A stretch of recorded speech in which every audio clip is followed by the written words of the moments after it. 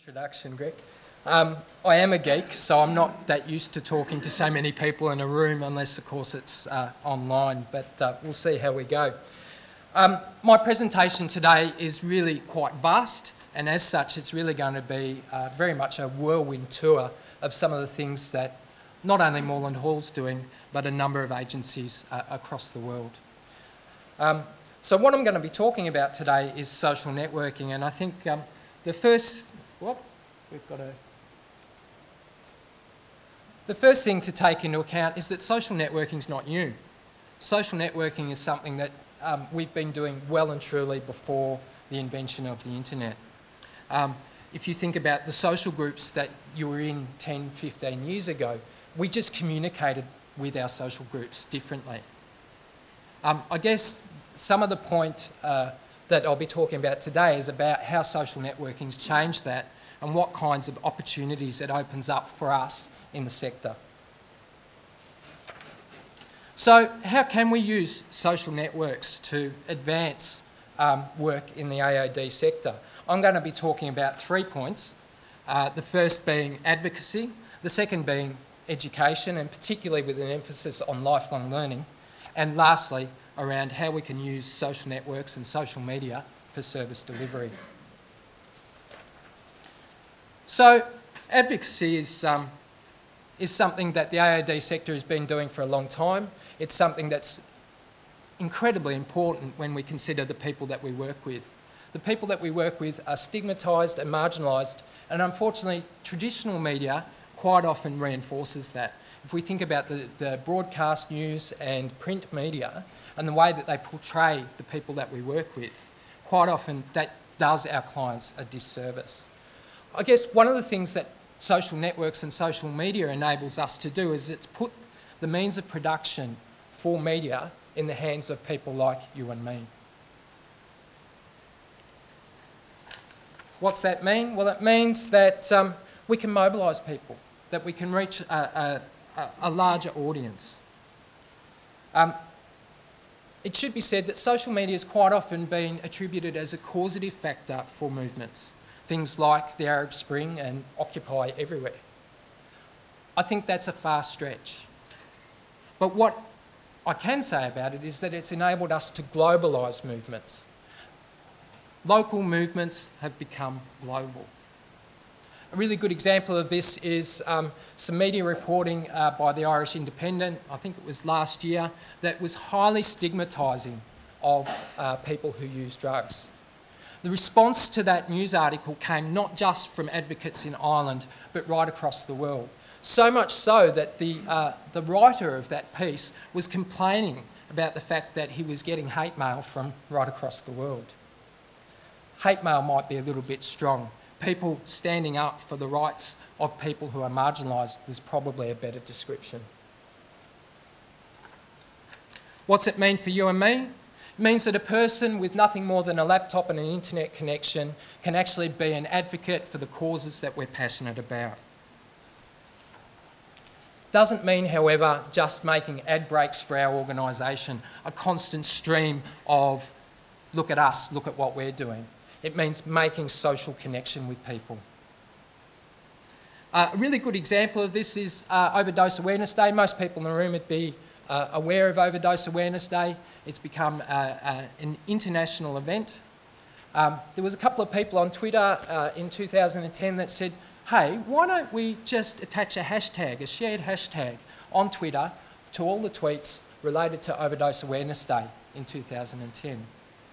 And what that meant was that people uh, within Twitter could follow that hashtag, much as uh, people can follow the hashtag for today's seminar, and get a stream of different people's thoughts around Overdose uh, Prevention Day. Um, that started last year. Moreland Hall took part in that, uh, and we took part again in it this year. Last year we didn't have any measurement about how far that reached, um, but Nigel Brunsdon, who will be uh, uh, teleconferencing into the uh, panel uh, later today, um, actually recorded metrics for this year's campaign. Um, Nigel kindly made um, that data, preliminary data, available to me. Um, he'll be releasing it uh, uh, soon on the internet, I think in the next couple of months. But I was able to examine that data and have a look at uh, the impact that Moreland Hall's tweets on that day uh, had and how many people it reached. And the interesting thing was Moreland Hall's uh, Twitter account at that time had about 160 followers. And the reach uh, that we made there wasn't much beyond those 160 followers. What that says to me is that it's not the content that's necessarily important, though it still is. It's more about the connection. That our advocacy online is very much premised in the connections that we make. Second thing that I want to talk about is um, education. And I think um, I have a real passion for lifelong learning. I think formal learning is really important. However, um, with the, the kind of moving goalposts that we have in the AOD sector, and, and Lawrence mentioned this before, we're in a sector that is subject to a lot of change. You know?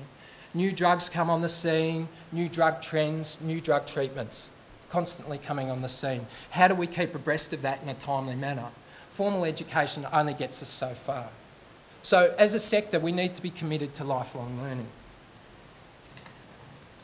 Now, I want you to think for a minute about the teams that you work in. Teams share information with each other. I know that I'll be sitting at my desk and somebody comes across an article or something that they think is relevant or important to the work I do. They'll send me an email or they might send an email to the whole team. A lot of our learning is premised on our personal learning networks. If we think about our personal learning networks, it'll be made up of our supervisors, our colleagues, maybe other people that we've worked with in the past, mentors, and indeed service users. Imagine what would happen if that email, rather than going to the four, five, ten people in your team, went out to 100 people, 150 people, 200 people. That's the power of social networks. That's the power of things like Twitter. I didn't have a Twitter account until a year ago, and I have to say that in the last 12 months, my learning has grown exponentially just through contacting people, learning from others. There are a number of vehicles that we can utilise for this, including a number of specialist vehicles. Um, I know that Greg Logan, who's uh, emceeing today, was um, one of the initiators of the Dual Diagnosis Support Victoria NING site, a social network for people to share resources and information with each other and just have conversations about their work. It was that work that inspired Moreland Hall to start a similar site for harm reduction in alcohol and other drug workers called Heads Together. Um, again, it's a NING site. It has more than 700 members. It's had over 10,000 visits, nearly 1,500 unique visitors from 24 different countries. It has more than 20 special interest groups and more than 200 links to AOD related videos and other resources. What have we learnt? We've been operating this for two and a half years now. What we've learnt is that uh, there's a lot of lurkers. There's not a lot of people in that community that are prepared to, to talk. But that doesn't mean that it's not of benefit to a greater number of people. Um, so we only have a small number of overt contributors over time.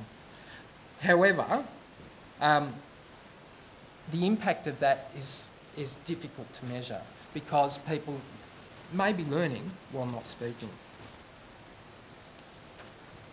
The last um, section that I want to talk about is service delivery.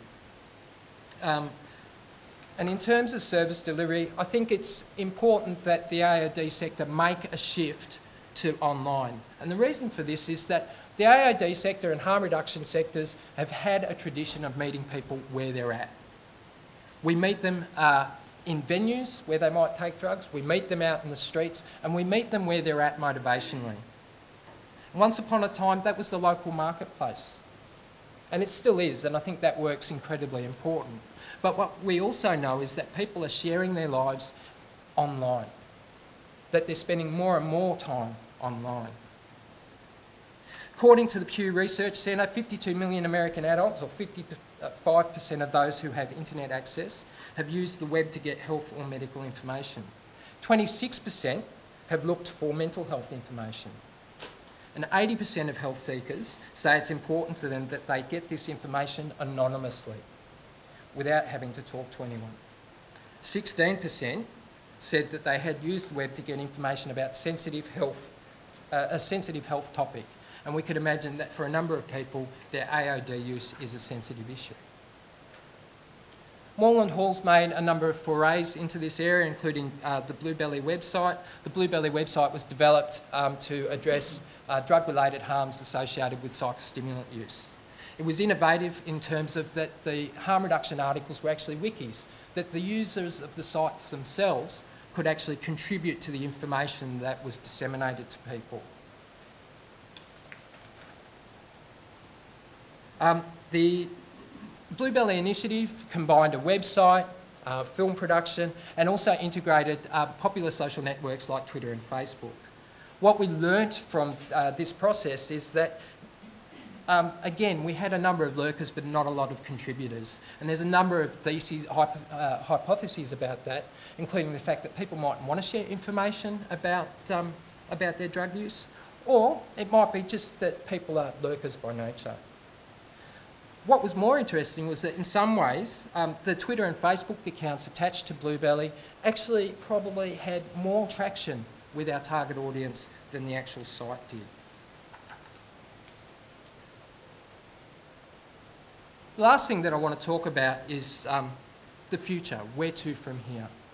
I think that the globalisation of advocacy will continue, that local issues will be taken up at a global level. I think that um, the integration of popular social networks with, um, with formal learning will become a reality, where we will start doing formal online learning, but it will also be combined with, hey, look what I've learned. Let's post it to Facebook, let's post it to Twitter. Or, where am I going to go and seek my information? Lastly, um, I just want to uh, talk about the future of service delivery. And I think there'll be two uh, great moves in service delivery in the next few years. The first one will be around video conferencing, which is all already being used quite successfully in a number of uh, medical areas, and I think that we will be moving towards that in the future in the AOD sector. Lastly, um, mobile access. Mobile access to uh, internet uh, will soon, they reckon probably in the next 12 months, outstrip desktop access to the internet. This provides us with a great opportunity to provide timely, opportunistic and geolocated information to people as they need it. But we really need to think about how are we going to do that. With that, I'll open up for questions. Thank you.